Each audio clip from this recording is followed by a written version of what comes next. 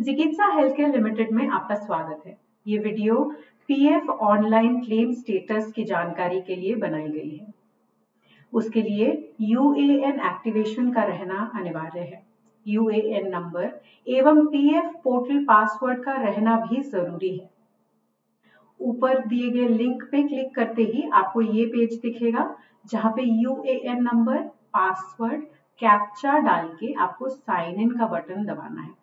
उसके बाद दूसरा पेज खुलेगा, जहाँ पे आपको ऑनलाइन सर्विसेज़ के अंडर ट्रैक क्लेम स्टेटस पे क्लिक करना है।